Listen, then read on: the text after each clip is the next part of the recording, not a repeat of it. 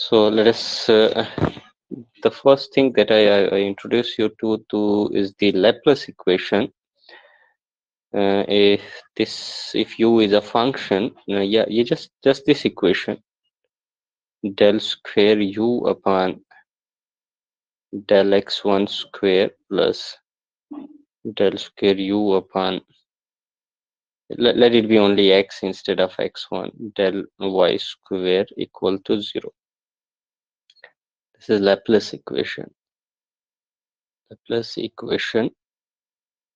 And uh, it's a partial differential equation and uh, uh, a function. Now when i say a function means it can be complex valued or a real valued as well. But usually let, let's take the real valued. A function in two variables u in two variables uh, Uh, which has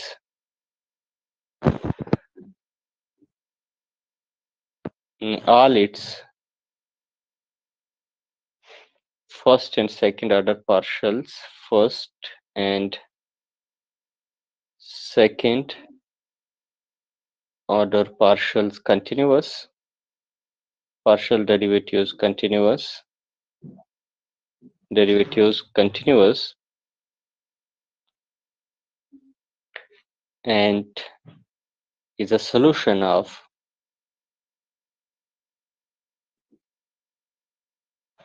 of uh, let, let this equation be 1 Laplace equation 1 is a solution of equation 1 then this function is uh, shall be henceforth called a harmonic function wherever it is defined whatever domain of it is defined but provided it needs to be there uh, a solution of this uh, Laplace equation and it's all uh, for up to first and second order partial derivatives need to be continuous. It's called a harmonic function. It's a harmonic function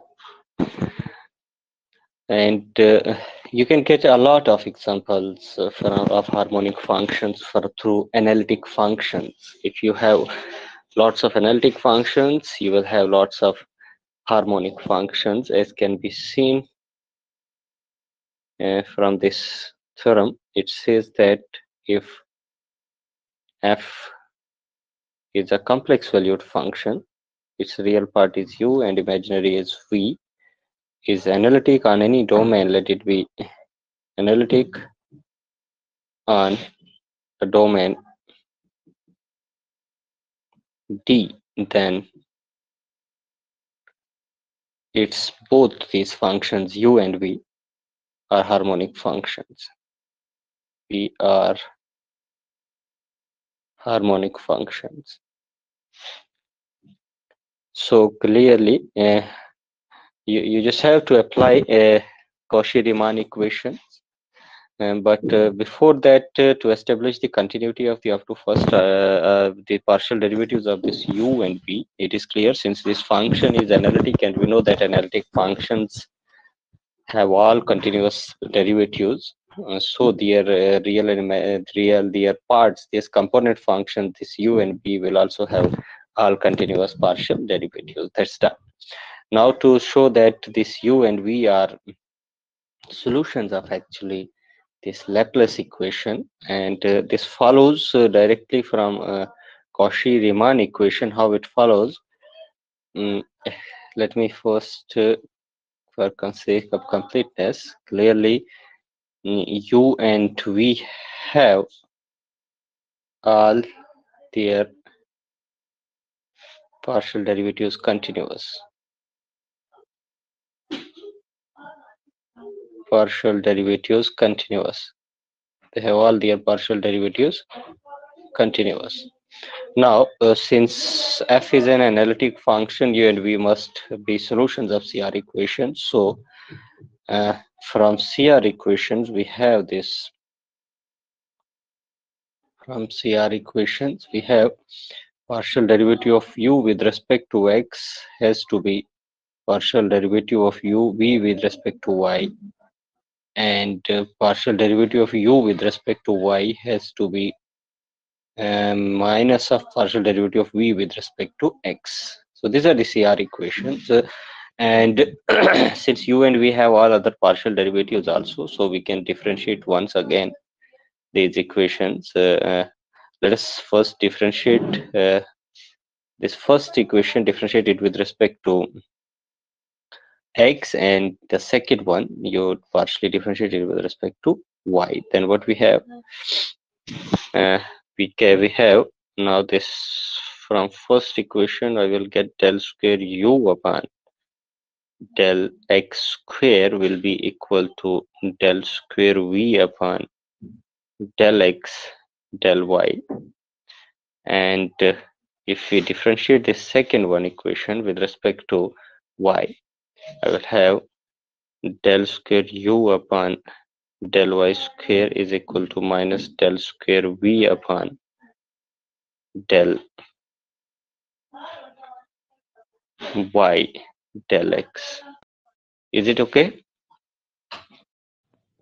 Yes, sir.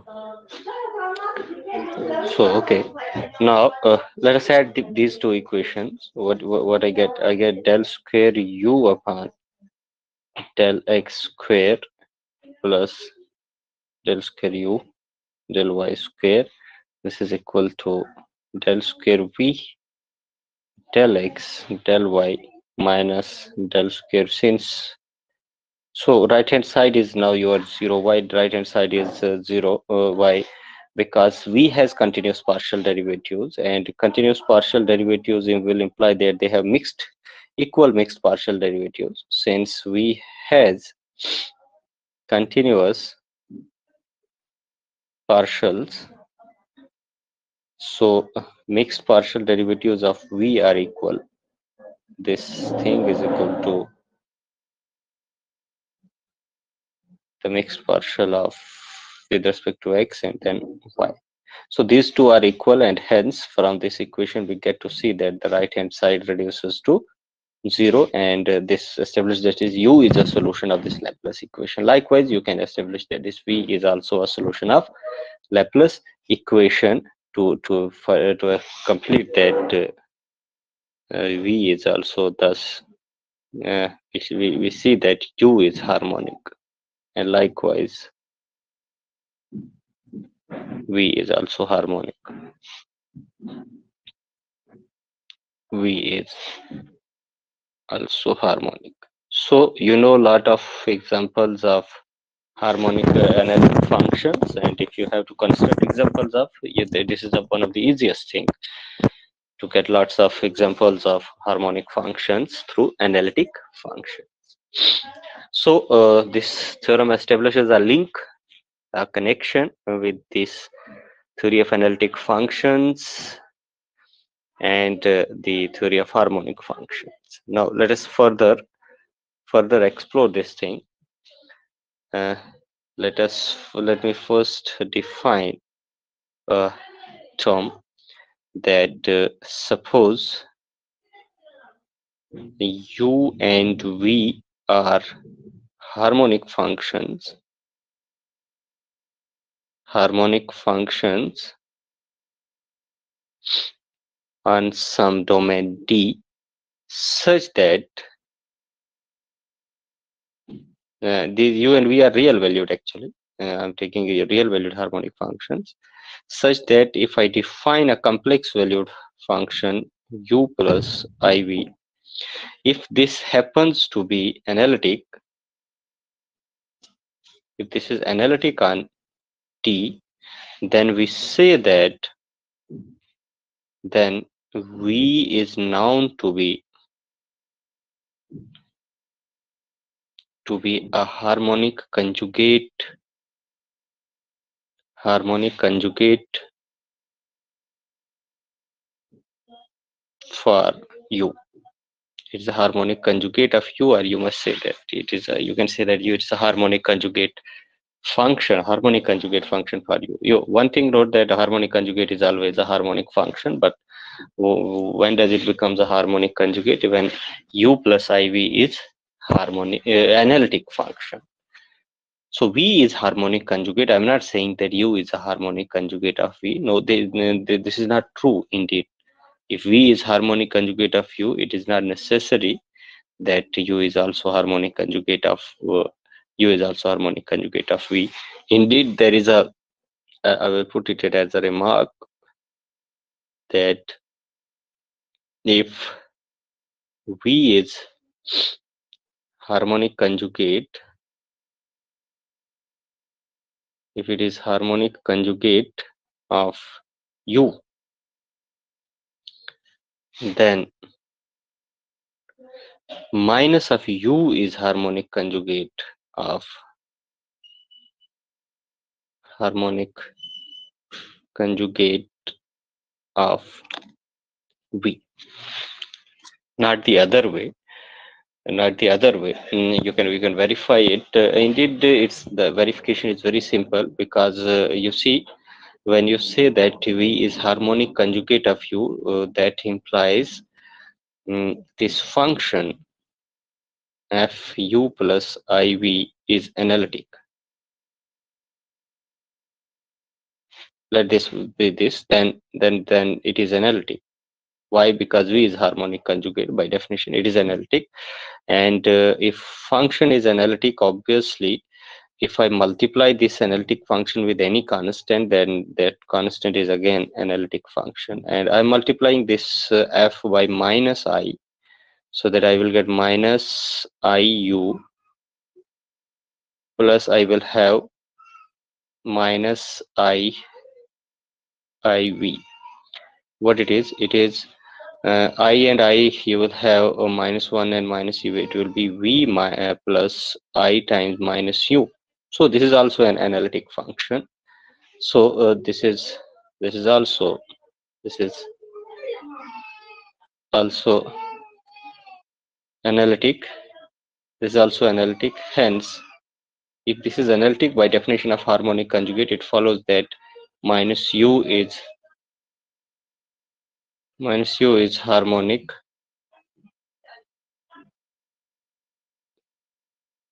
Conjugate of v. So this thing is for sure that this is a harmonic conjugate of v. Now let us look at this thing. The why u can't be harmonic conjugate of v. Now suppose uh, let us disprove this. Suppose that u is harmonic conjugate of v when V is harmonic conjugate of O. Harmonic conjugate of V, then we know that minus U is always harmonic conjugate. So then, then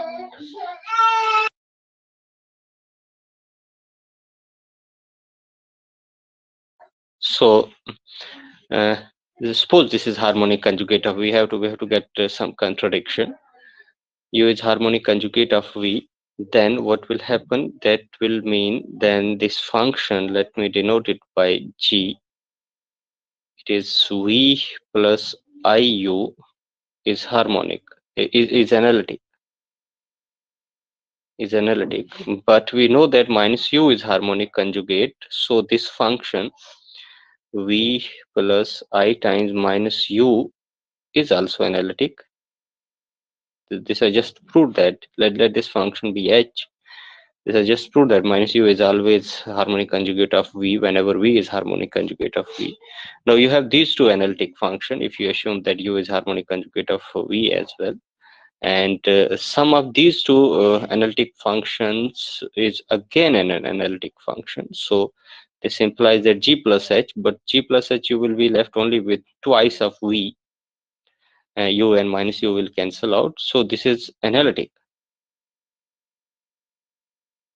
This is analytic. But uh, you see now that this is a function which is purely real, re real analytic function, and you know that uh, if uh, any analytic function whose uh, either real or imaginary part is constant or missing, then that function is a constant function. So this implies that this function is constant. That means twice of v is constant or that is to say that um, v is constant. V is a constant function. V is constant function. V is constant and v is constant implies that uh, u is constant uh, because uh, because of CR equations, you will get U also constant. Or, uh, or you, even you don't go to the CR equations. V constant means your function G is a function whose real part is constant. And again, by uh, this result that whenever real or imaginary part is constant, the other part will also be a constant. So U will be constant. So U is also constant. So whenever uh, we say that u is harmonic conjugate of v. If v is harmonic conjugate that this is only possible when u and v both are constant. That means if one of them is non-constant then we will never have this u to be harmonic conjugate of v whenever v is a harmonic conjugate of u. Is it okay? Yes, so so the next big question is uh, that uh, there are functions. Uh, there are uh, harmonic functions to which you will not have harmonic conjugates. Not every harmonic function have a harmonic conjugate. Indeed the uh, I, I, should put it in this way that the existence of harmonic conjugate uh, depends upon the topology of the domain. It depends upon the type of the domain that you have and uh, what i'm going to simply put right to for you is that uh, mm, harmonic conjugate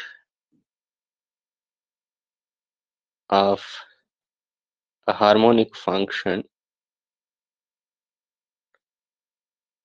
harmonic function on arbitrary domain T may or may not exist. There are functions in harmonic conjugate will, will, will exist everywhere, but there are functions for which you might, might not. But there is a definiteness. There is a definiteness, and the theorem is mm, that harmonic conjugate of a harmonic function of a harmonic function u on a simply connected domain on a simply connected domain D exists. This is a result. This is the important thing that where simply connected domains are the domain where you will have this guarantee that harmonic conjugate always exists of a harmonic function. There is no other uh, thought. But now we, we, we need a certain preparation for this proof of this theorem. I have to introduce certain things so to complete the proof of this theorem and the next few slides are going to talk about what we are going to require. Uh, first, I'm going to introduce to you some differential stuff and uh, let us, let me call it a preparation uh, for proof. We need certain terminologies. And first, if uh, if I have a function hxy be a continuously differentiable function continuously differentiable function continuously differentiable. Indeed let, let us take this to be complex valued. It can be complex value function. Then the differential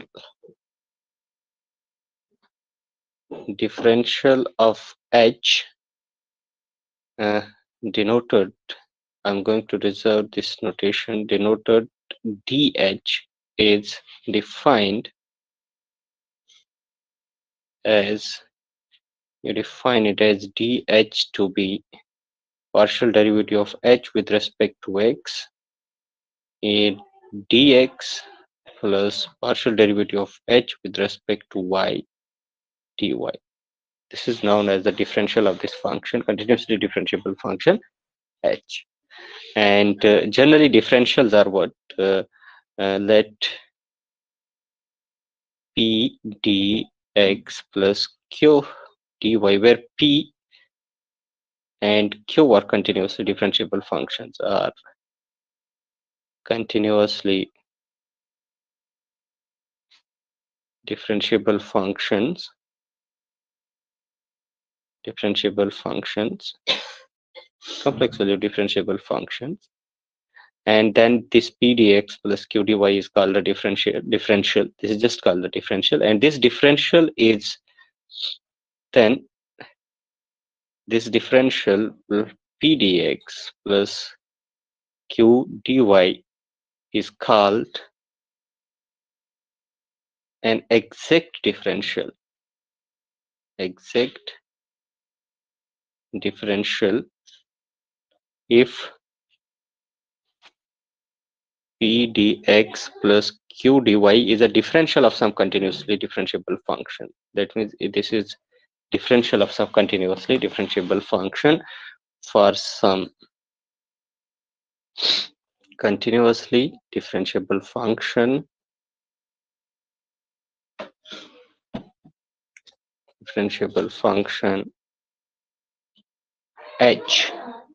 Okay wherever the domain of p and uh, q is the we are, we, are, we have to distribute. So no need to talk about domain here.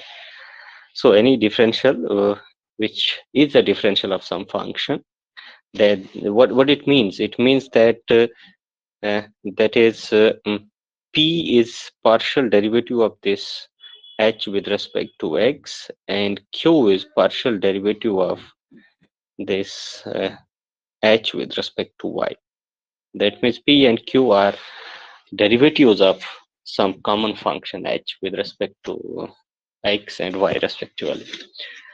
Then th that function, that differential is the exact differential. There is another type of differential that uh, mm, those differential are known as closed differentials. Closed differentials. So what is a closed differential? Uh, the differential this differential where p and q again we are uh, uh, taking p and q to be continuously differentiable functions. This e dx plus q dy is this is a differential differential and this is known to be closed differential. This is known as closed differential if partial derivative of p with respect to y happens to be partial derivative of q with respect to x. If you have this equality, then we say that this differential is a closed differential. And uh, now we have to explore first uh, the relation among these two type of differentials, closed and exact differential. And uh, what is the relation? Relation is that uh, exact differential is always a closed differential, but uh, the other way it is not true. And uh, why close exact differential is a closed differential? Uh, it, it, follows directly uh, it can be seen from here.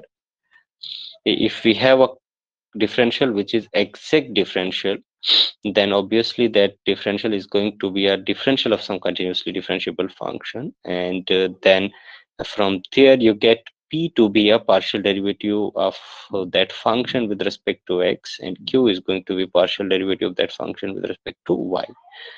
And now you have to establish that partial derivative of p with respect to y is equal to partial of with respect q with respect to x. And uh, let us calculate this partial of p with respect to x. I'm just going to do the uh, quickly it here only. Just let's take different color. So uh, uh, if we calculate partial derivative of p with respect to y what it is going to be? It is going to be partial derivative of h second order partial derivative of h with respect to y and x. And partial derivative of q it is going to be del q upon del x. It's going to be del square h del x del y and now since h is a continuously differentiable function, so it has equal mixed partial derivatives. So this right hand side is right hand side of both these equations is same. These are equal uh, expressions. This will imply that this partial of p with respect to y is equal to partial of q with respect to x. So that, that, that is the condition for this differential to be closed differential so this establishes that closed differentials are exact differential are closed but not the other way and uh, there is another link Uh, I'm just giving uh, writing the, an example of a differential which is closed but not exact. And what is that thing is let us let, let me write this.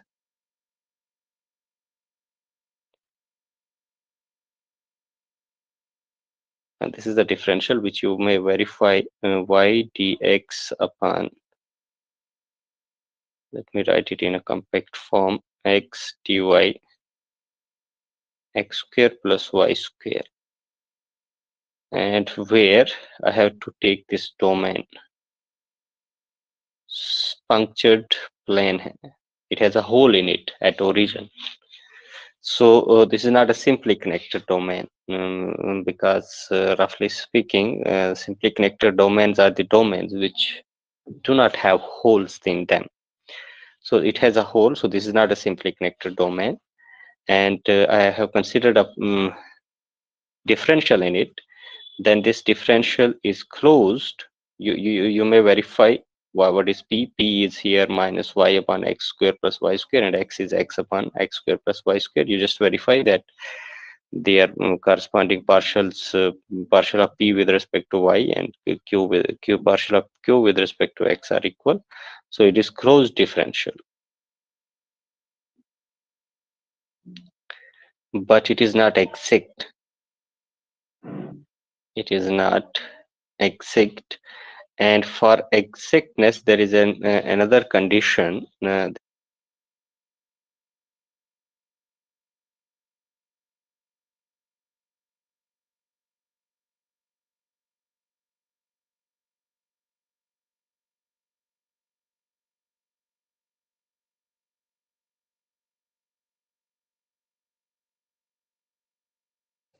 sir आपकी voice नहीं आ रही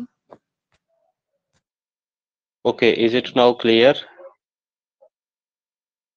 Yes अब आ रही okay ये कब से कब से रुक गई थी ये? सर अभी रुकी थी एग्जैक्ट के बाद रुक गई थी जब आपने एग्जैक्ट लिखा। अच्छा इस एग्जैक्ट के बाद है ना? Yes sir Yes, sir. okay okay okay okay okay. Now dy upon x square plus y square. Uh, you, you can calculate. This is a line integral and i'm just going to write directly its value here. You just to convert it into polar coordinates. You will have this thing equal to 2 pi and this is non-zero. And this is one of the result uh, uh, that we will see that uh, if a differential is exact then the integral of that differential line integral of that differential over any closed path is always zero. So you have this circle this is a closed path this is a closed path and uh, this is a one of the closed path and over this closed path the integral of this differential is non-vanishing and uh, therefore this is not an exact differential. We will we will state that result later on that for exact differential the integral over closed path is always zero. So this is not zero. So this is established this is not a exact differential but it is a closed differential. So th th this is okay now. Now okay then uh, now uh, let me now mm, give you uh, uh, this uh, what i say. I need to i need to give you the definition of deformation of paths. Uh, wh- what it mean by deformation of a path? Suppose we have two paths. Uh, let me first write deformation of a path to a single point. That would be nice to just define first.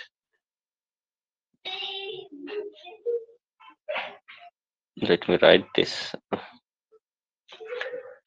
let us take a path gamma t defined on this interval.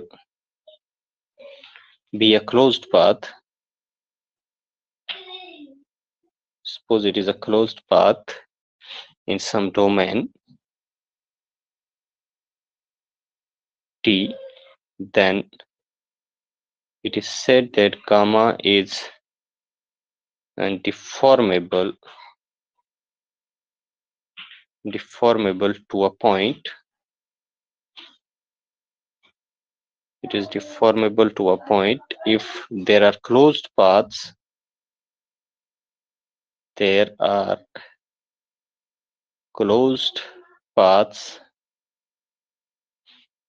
Gamma sub st. And uh, where t is again in this open inter closed interval and s is restricted to the unit interval and these paths must again lie in domain D such that uh, these paths gamma st they must depend continuously on both the parameters s and t they must vary continuously with s and t. And the initial path gamma 0 as far as equal to 0 must coincide with the path gamma the original path that we want to deform to the point. And the final path when we reach at s equals to 1 this path needs to be the constant path some point z is the constant path. Is the constant path. Okay? We say that then this path is a deformable. It's like the we, we see that if if i take a circle in in the complex plane and then this is deformable to any point inside the circle because what we can do we can define smaller circles inside it can define smaller circles inside it? Smaller smaller smaller and we can make these circle small small small enough so that finally you uh, this circle gets deformed to the single point. This we can compress it. This is in a in a uh, in a layman's language that if this path you compress this path this path must shrink to a single point and such paths are said to be deformable to a point. And uh, if we have a domain d if d is a domain domain in which in which every closed path is deformable is deformable to a point then this domain D is called a simply connected domain. This is called a simply connected domain. So here it is why we say that uh, a domain is a simply connected if it doesn't have any holes. Because if there's let us look at this punctured plane. It has a hole at origin. This is the punctured plane. C minus 0 because if if you have a path which encircles this puncture then this path will never be able to you will never be able to deform this path uh, to to any point. Because once you deform it uh, when it reaches this origin it will it will it will be trapped inside this hole. It will enter this hole. It will not be uh, something which is compressed to this point. Okay?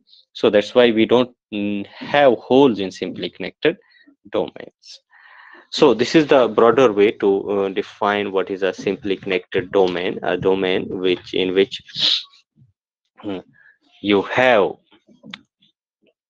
every closed path deformable to a point. and uh, it will be very clear now. Let us look at this uh, example.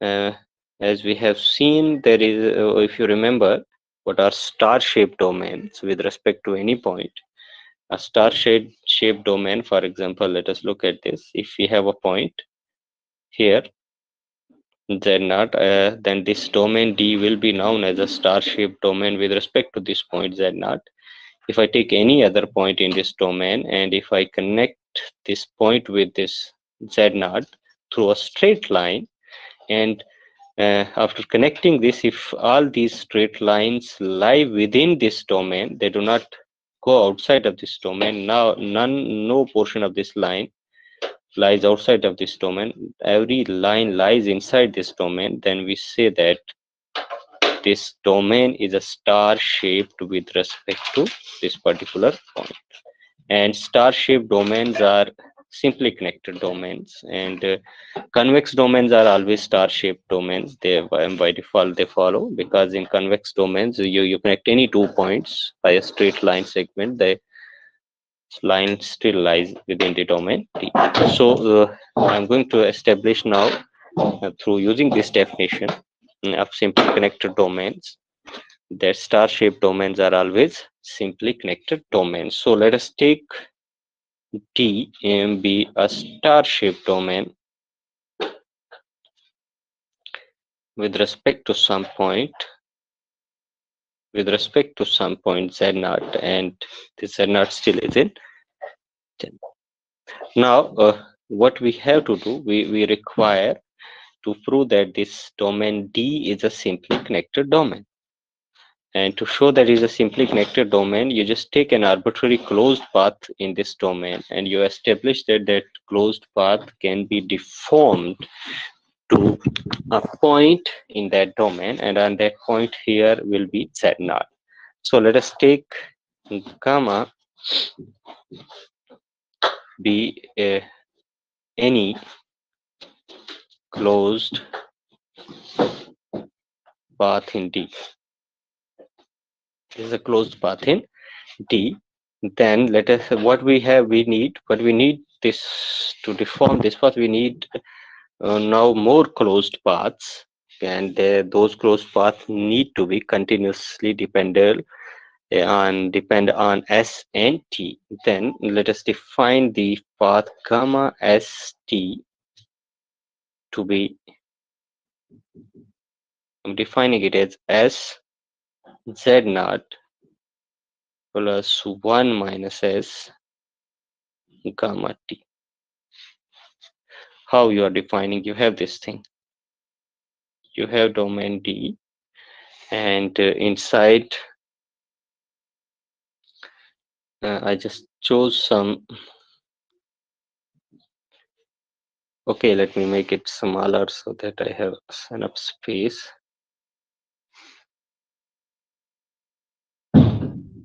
Here I have a closed path gamma. And suppose here is this point with respect to which this domain is star shaped.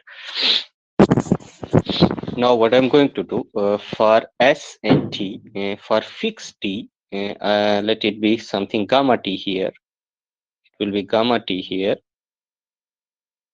and I'm just joining it through a straight line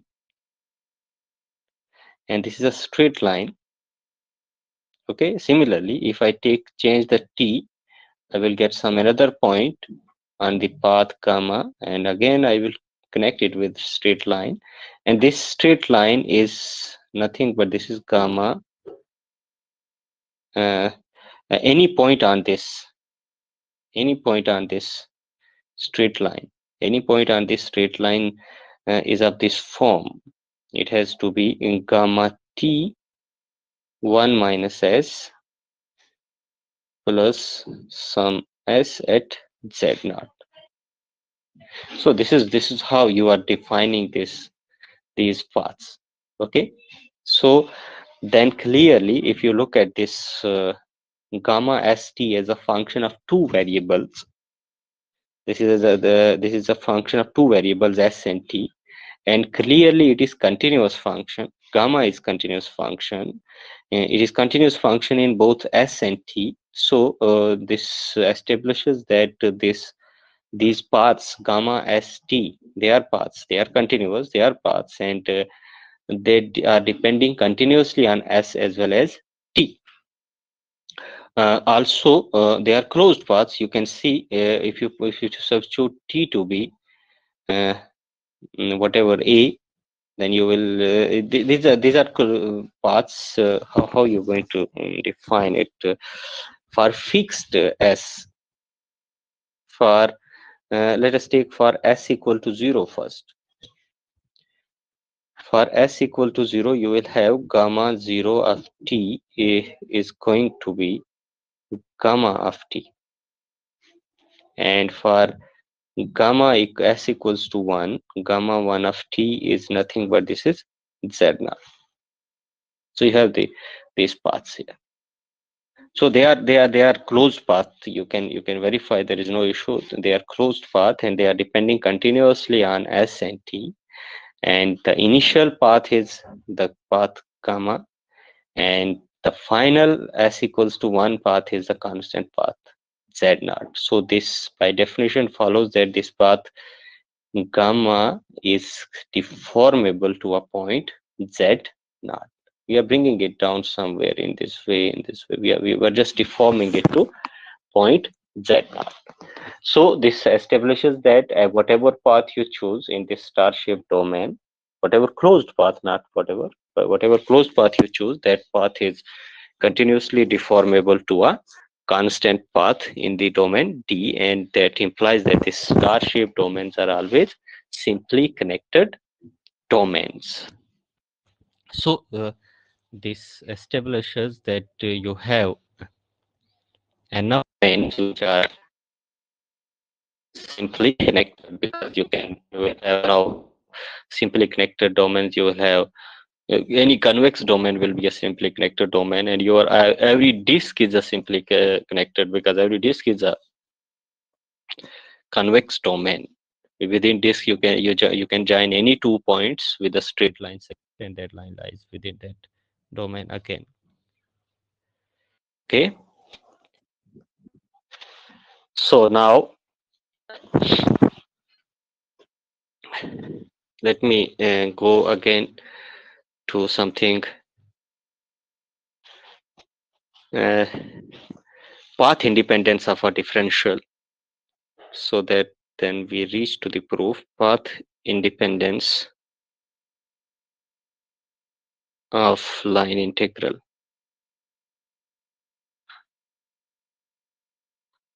ठीक है mm. the line integral of this differential p dx plus q dy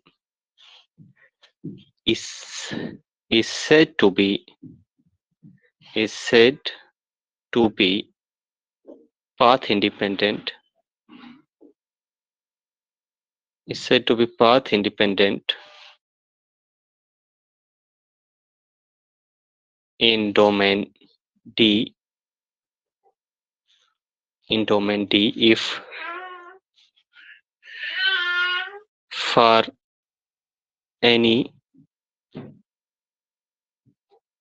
two points A and B in D the integral integrals gamma p dx plus q dy are the same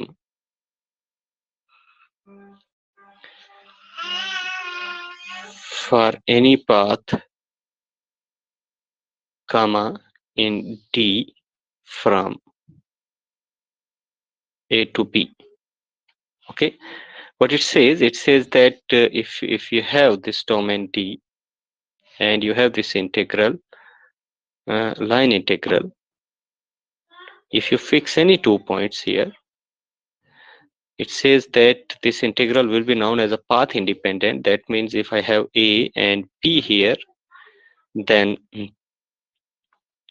whatever path I take, whether I take this path from A to B or I take this path from A to B, uh, if I get the value of the integral to be same over any path from A to B is same whether I take this integral over gamma naught or gamma 1 from provided the both the paths are from A to B. If the value of the integral is same then we say that these are path independent integral. The, the, the integral is path independent. The another equivalent uh, equivalent way to say that this is a path independent integral is to say that uh, if you take integral over closed path because if i now form this to be a closed path just a minute give me a minute. Okay the another way to see uh, the path independence of a integral is to see that over any closed path the integral is always zero because uh, uh, if you have this situation that your integral is zero over any closed path then that is independent. And then you have to show that over any two paths the value of the integral is same. And that uh, if you choose here gamma naught and gamma 1 then if you reorient the uh, one of the path either gamma 1 or gamma 2 let me let me reorient this one then i get a closed path from a to b then this closed path a to b will imply that integral over this closed path uh, will be zero. This integral will be zero. Or this closed path let it, it be gamma naught minus gamma 1 and uh, since they are distinct paths i can write integral separately.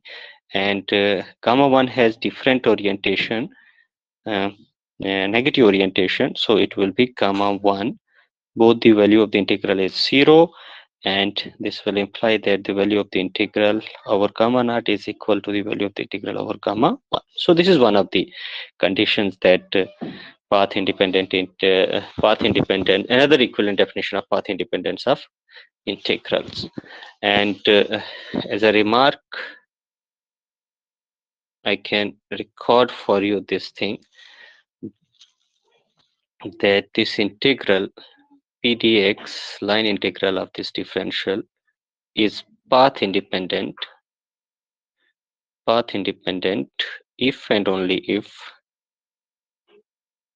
the value of this integral is zero for any closed path gamma in d. Yeah this is okay finally we, we we i need to state two lemmas and then we will be through to the proof of the theorem of existence of the harmonic conjugate. And uh, the lemma without proof one it says that uh, suppose p and q be continuous differentiable complex valued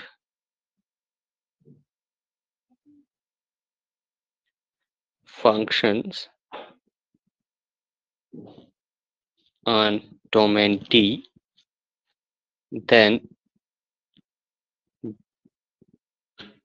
this integral, line integral of this differential p dx plus q dy is independent of path. This is independent of path in domain D if and only if the integral that is being integrated, the differential that is being integrated is exact. So there is a relation between exact integrals and path independent integrals. They are same. Path, uh, path independent line integral of a differential if and only if the differential is exact.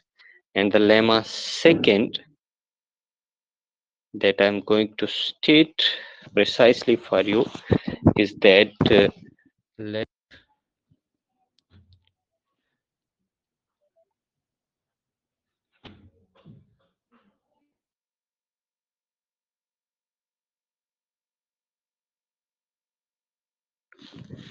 and we have two paths gamma naught and gamma 1 both defined on this interval AB B2 closed paths B2 closed paths in domain D. And suppose that gamma naught can be continuously can be continuously just a minute there is someone calling continuous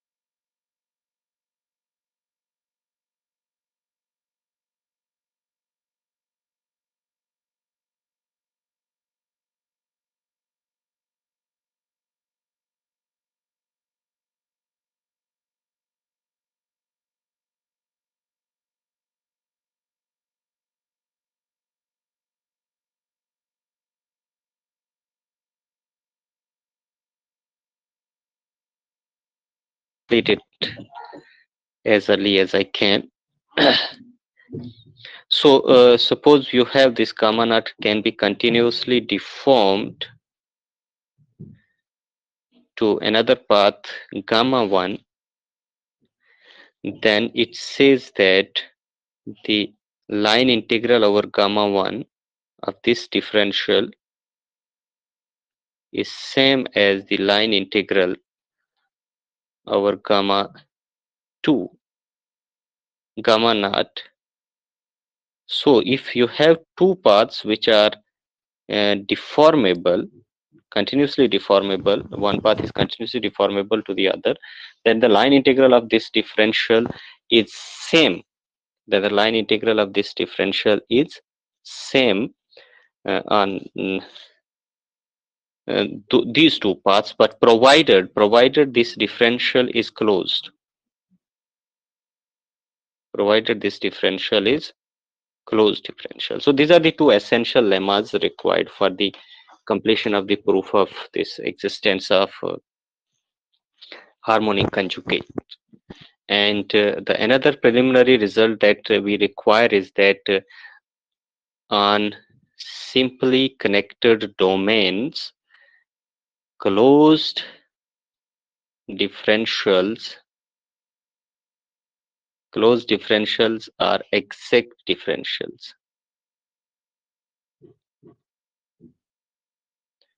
Closed differentials are exact differentials. This is it and this is something uh, indeed this is uh, so necessary and sufficient condition for a domain to be a simply connected domain but we will discuss it later on. And how how it is going to help us uh, to establish that the harmonic conjugate of a differential exists is the following. Uh, let us take u be a harmonic function u be harmonic u be harmonic. Then you can verify it that this differential del u upon del y dx i'm taking p to be del u upon del y because u has all these partial derivatives plus del u upon del x dy. Then this differential is closed. There's a closed differential and if it is a harmonic function on simply connected domains then this remark says that it is exact also. Hence it is exact. Hence it is exact differential on simply connected domain d. If it is exact what it means exact differential means it is a differential of some continuously differentiable function. So there is some continuously differentiable function v such that this is equal to d of v.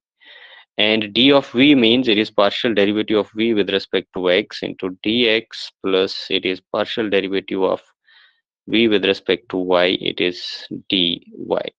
And if you compare the uh, terms of this what you get you get minus del u uh, del y is equal to del v upon del x and del u upon del x is equal to del v upon del y. And now these two equations that you have got here are nothing but they are the Cauchy-Riemann equations being satisfied by u and v. And u and v have continuous partial derivatives and they have mm, they satisfy Cauchy-Riemann equations also. And hence by the partial converse of the Cauchy-Riemann equations it follows that this function which is formed by using u plus iv is analytic. If this is analytic, then clearly u and v both are v is also harmonic function, and hence it proves that uh, it proves that v is harmonic. v is harmonic function. v is harmonic uh, conjugate harmonic function and harmonic conjugate of u. So this is all that we needed for this. So I stop here.